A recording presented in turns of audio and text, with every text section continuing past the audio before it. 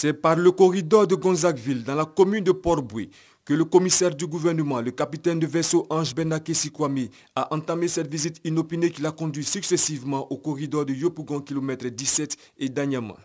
À ces différents points de contrôle, le magistrat militaire a remis un document contenant l'ensemble des consignes générales et particulières sur le contrôle des pièces d'identité.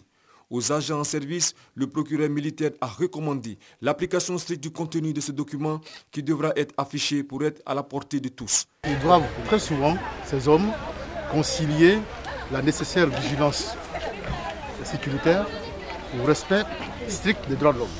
C'est-à-dire qu'au moment où on vous demande de veiller à ce que la sécurité soit évidente, soit une réalité, au moment où on vous demande de veiller à la sécurité des biens et des personnes, on demande en même temps de respecter les droits de l'homme. Alors, c'est pas que c'est compliqué, mais ce n'est pas impossible.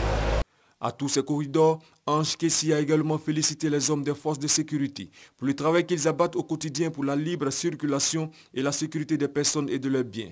Ange Kessi, qui a saisi l'occasion pour appeler les hommes à la vigilance, a averti que le non-respect des procédures de contrôle en vigueur expose leurs auteurs à des poursuites et des sanctions disciplinaires.